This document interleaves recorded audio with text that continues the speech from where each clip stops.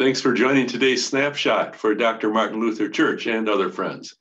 I wanted to give you an update today on my friend Steve Swanson. A couple of you have asked how Swanee is doing since he was bitten by a mosquito in Minnesota in late August, and he's been in the hospital since September 2nd with West Nile virus encephalitis. Well, here's his latest. Four and a half months later, he's still on a ventilator at night. He has uh, chest two chest tubes coming out of his chest, draining fluid. They're going to put a take out one uh, chest tube and put in a different drain to drain off pleural fluid. And he has been told, his wife has been told that he has a chronically trapped lung, which would likely last for quite a while yet, at least.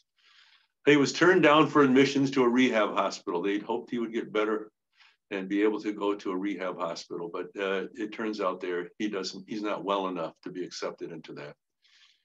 So they now are putting him in a cardiac chair for two hours. He suffers from oxygen problems when he's sitting up in a, a cardiac chair, but eventually that gets a little better. And it does not look good uh, for moving to uh, for a rehab place. So he's probably going to go home. So they're training a home care team to work on uh, operating a ventilator, suctioning him, positioning him, uh, working with his quadriplegia. Uh, I had not heard the term quadriplegia used in regard to him until yesterday, and I'm just heartsick about it.